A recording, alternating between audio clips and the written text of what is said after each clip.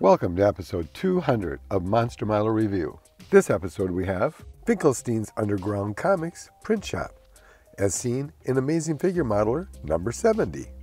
Finkelstein's Underground Comic Print Shop is a fun diorama I created sharing my love of Finks, comic books, and model kits.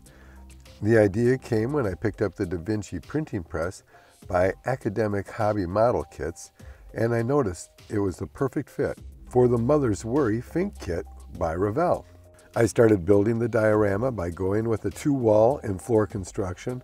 I used a thin coat of paper mache from a recipe of Johnny's from ultimatepapermache.com. I love this recipe for bigger sculpts, and it worked perfect for a rough, thin coating on the walls to emulate old, decaying plaster walls.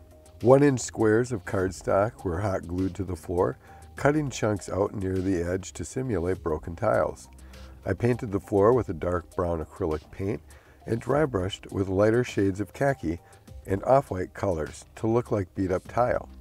Next, I painted the walls Spanish olive green and washed it all with a light coat of dark walnut wood stain thinned with mineral spirits to age and add a moldy look to the walls and floor.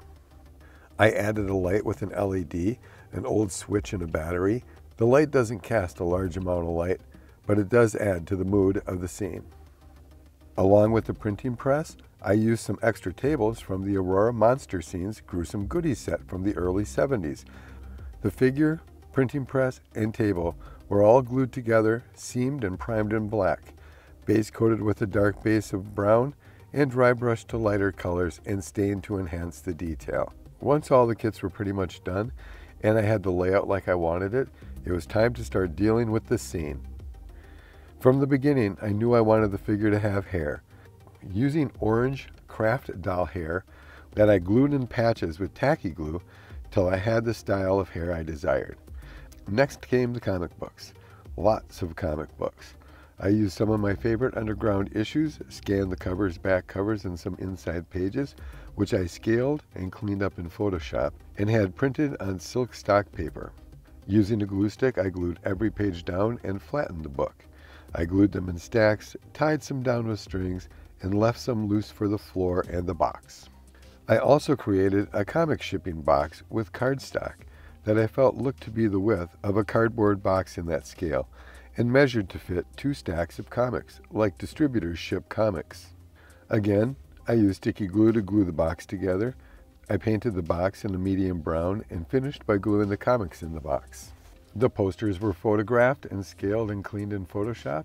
Some were put on the wall with poster putty and masking tape cut into tiny pieces, and some were rolled like new.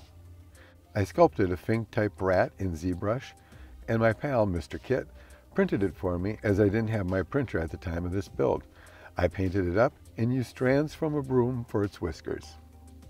I added ink pans with colored ink, art plates made with cardstock, I sculpted a liquid spill on the top of the printing press with Aves Apoxie Sculpt and added a bottle, which is another old game piece. And I sculpted the paintbrush, again, out of Aves Apoxie Sculpt. A mouthwash bottle became a garbage can. I made some debris with unused art and balsa wood scraps. I glued the debris and the can down with white glue. I added drips, smears, spills on the floor. I added stacks of pages an open comic, and a 3D printed coffee cup with a spill and glued it all in place on the standalone table. I glued the rat and the comics where I wanted them and touched up everything I missed. All that said, every time I look at it, I want to add something new. I knew the second I saw the Da Vinci printing press, it was going to be used in a diorama just like this one. And I loved the whole process of building it. I've always been a huge Fink fan. I love the detail and the freedom to paint in the craziest colors imaginable, and I feel it allowed me some freedoms with scale, as it was a fantasy piece from the get-go. Thank you to Terry Webb and David Fisher for choosing my piece to be included in their magazine. It's truly an honor. I go into more detail in the magazine if you're interested. Check out Amazing Figure Modeler 70 and a lot of other cool articles and available back issues at amazingfiguremodeler.com.